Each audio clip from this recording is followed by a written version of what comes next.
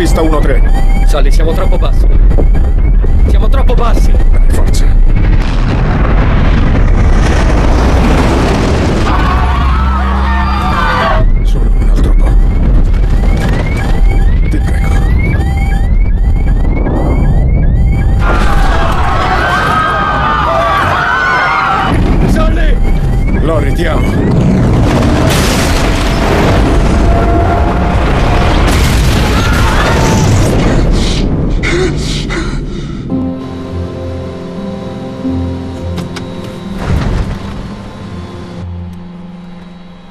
Atterraggio riuscito alla guardia, pista 1-3.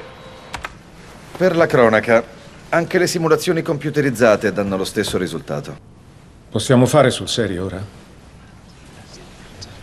Comandante? Ci avete detto delle simulazioni computerizzate e ora stiamo guardando quelle fatte dai piloti, ma non riesco a credere che ancora non abbiate preso in considerazione il fattore umano. Simulazioni con piloti umani mostrano che potevate tornare all'aeroporto. No, per niente. Quei piloti non si sono comportati come esseri umani, come persone che provano quell'esperienza per la prima volta. Magari non hanno reagito come lei. Immediatamente dopo il Bear Strike virano per tornare in aeroporto, come nelle simulazioni al computer, immagino. Sì, esatto. Ovviamente conoscevano la virata e anche esattamente la prua. Non hanno fatto un check, non hanno inserito l'APU. Avevano gli stessi parametri da voi affrontati. Noi non siamo stati avvisati.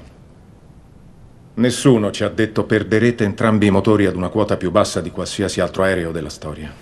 Per la cronaca, questo è il CVR del volo US Airways 1549, 15 gennaio 2009. Signori, cuffie, prego.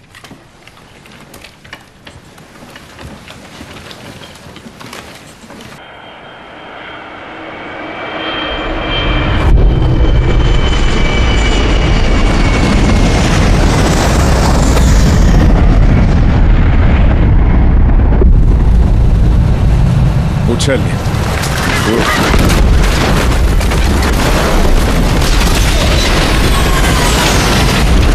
Oh cazzo.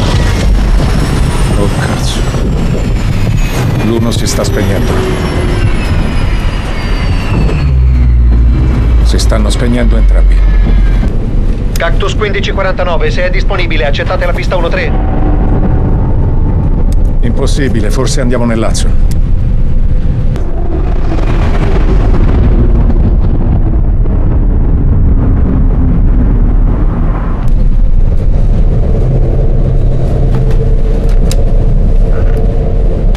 Qui è il comandante.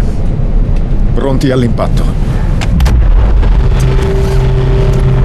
Viper,